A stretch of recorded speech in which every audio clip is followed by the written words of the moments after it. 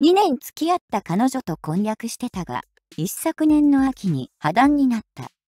俺は転勤族なんだが、彼女のご両親も転勤族だったせいか、今は転職して地元密着型の会社勤務。そこが問題になったことは全くなく、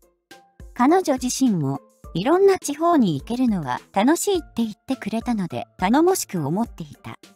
最初は延期してもいいから式は挙げたいと言っていた彼女から、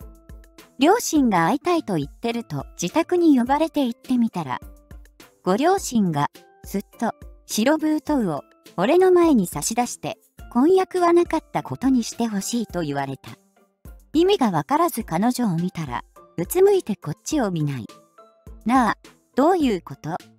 て彼女に聞いたら、うつむいたまま、そういうことって。嫌だから、どういうことだよ？って、つい、声を荒げてしまった。そしたら、彼女父に、娘を責めるな、と言われて、急に大きな声出して申し訳ありませんでした。でも、僕意味がわかりませんって言ったら、彼女父が説明してくれた。遠方に行ってしまうと会えなくなる。孫が生まれても会えないかもしれないとか、そういうのは困る。娘も不安がってるし、これが一番いい判断だと思う。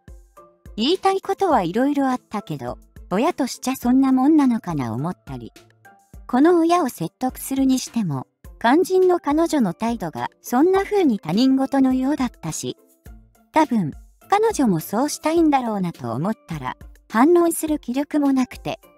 白封筒が手切れ金だと思ったら、なんか馬鹿にすんなって思って受け取らずに帰ろうとしたら、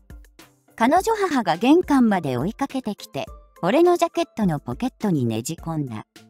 彼女母とああだこうだするのが鬱陶しかったので、玄関を出てから集合ポストに放り込んだ。マンションの鍵付きのやつだよ。せめて、事前に、彼女から、親がこういうこと言ってるって情報が欲しかった。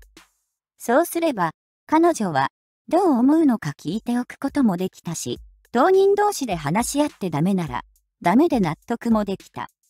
数日前に、彼女リクエストの誕生日プレゼントに、ニッコニコしてたくせに、突然、一方的に、彼女親から破談にされて、彼女はだんまりってあんまりだと思う。でも、今はあれでよかったと思ってるんだ。あれを乗り越えてまで結婚にこぎつけても、多分、いいことなんてなかっただろうと思えるし、